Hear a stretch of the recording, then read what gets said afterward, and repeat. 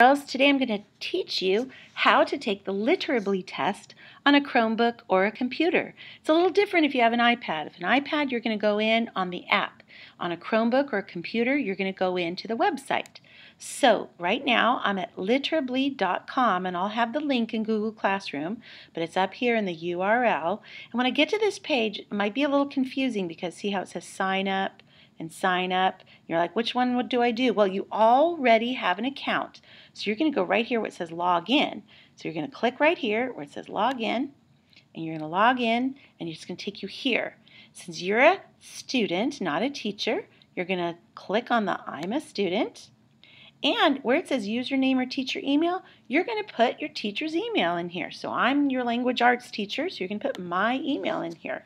So my name is M I, and you don't have to capitalize it, C H E L E with one L, dot, so a period, K M A K, Michelle dot Kmak. At, don't forget that at sign, L. Now that is an L, that's not an I, that's an L. So even though it looks like a capital L on the keyboard, it's an L. Um, it'll come out as lowercase unless I shift and make it capital, but it's not supposed to be. It's all lowercase. L M for La Mesa, SV for Spring Valley, SD for School District, dot net. And watch, did you see what just happened?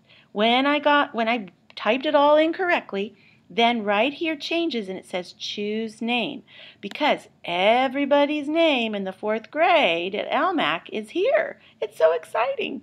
And you're going to look for your name and I'm going to go in as demo student right now. So let's pretend like that's my name. I'm pretending to be a kid. I'm Mr. Demo, Mr. Student, and I'm going to log in. And when I log in, Literably wants to use your microphone. So yes, give it as many permissions as it asks for, okay? So allow it. Now the first time I ever went to this page as a demo student, all of this writing was whited out. I couldn't see it. If that happens to you, don't freak out. I think what's going on is they don't want you to see the reading before you click the start to tape yourself, to record yourself. So, um, but since I've already been to this page, I think it opened up for me again. But yours probably won't. My guess is yours will be all whited out. And you're not going to necessarily have this passage. This passage is just a random passage it gave me. Your passage will be leveled for you. So, depending on where you were the last time you took it, so if you were in our district last year, it'll it'll level you, it'll take you to where you were last year.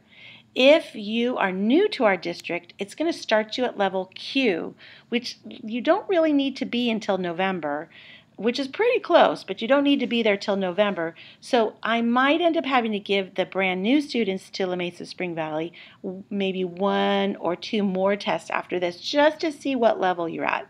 Because liter- Literably is just going to see how you read out loud and how you answer questions. Okay, so that's all it is. So now it wants to hear you read this whole passage. And you're going to click Start and you're going to start reading. So, polio. The first polio epidemic swept across the United States in the summer of 1916. In 26 states, more than, and as you read, if you make a mistake, it's okay. If you really get flustered, you can stop and restart. But don't try not to do it like a whole bunch of times. Literably doesn't like that, and I can tell that you are probably having a hard time because of that. So just just, you know, don't worry if you can make a little mistake here or there. It's not going to really make a big difference in your score, okay? So don't feel like you have to be completely perfect. I do want to remind you to kind of slow down and read all the little words in here because sometimes kids will be rushing and they'll say then instead of than or from instead of of. You know what I'm talking about, right? Okay, so you're going to read everything and it's going to time you as you read, but don't worry about that either. I don't care. What I'm looking for is accuracy, how well you're reading. Then two things will either happen. It'll let you get all the way to the end of the passage, or it'll say, okay, you're out of time, and you're not going to freak out. You're going to go, oh, okay, I'm, but I'm going to keep reading the passage because I need to know what happened in the passage because I'm going to be answering the comprehension questions. So then when you're all done, you're going to come up here where it says stop, and you're going to stop it. And then you can you can listen to yourself again if you want to.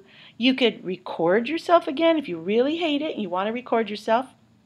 Oh, by the way, speak kind of loudly like I am. Try not to whisper. If you whisper, it, it'll make you do it again. It'll tell me, oh, I couldn't even hear it, and I have to have you do it again. So do a nice big voice. If you're embarrassed at home, go in your closet or something, you know, but make sure you're using a nice big voice. Then when you're all ready, you're going to click this button, Comprehension. And the questions come up. These There are five comprehension questions. Right here is a little speaker. It'll read them to you. How did cities respond to the polio epidemic? And it'll read you the question choices. They encouraged people to wash their hands. So, whichever one you think it is, you want to just click. You can click on the sentence or the little circle next to it. Um, either way, they will take your answer. See right there? I'm just guessing because I didn't read the passage. I don't want you to do that at all. And also, let me just tell you something. If you're like, which is not one of the signs of polio infection? Oh, I remember that was in one of the paragraphs. You can return to the reading, look for it, go back up here to comprehension, and then answer to answer the question. I think that was the wrong one, but I have not even read the questions. Okay, now, if you've gotten to the end of this video and you're on this page, you're in for a treat. I do not make you do this part comprehension where you tell as much as you can about what you learned in the text you just read, you do not have to type in here anything. It's okay with me if you don't. I just want you to read and answer the five comprehension questions. That will give me enough information about your reading. So when you're done, you're going to, I'm done, log out. You're going to click down there and it'll say no retell. Are you sure you want to log out without retelling the, the reading? And yes, you say, yes, I don't want to log out. And then you are done. It takes about a day to three or four days, depending on the time of year, for me to get your scores. I will let you know how you did. Do not stress. It's the beginning of the year, and you lost about a third of the year last year. So please do not stress about your scores. It just gives me an idea of who might need some extra help or who might need some extra fun reading things to do because you are Zooming. So we're going to find out, okay? Okay, so if you have any questions, let me know.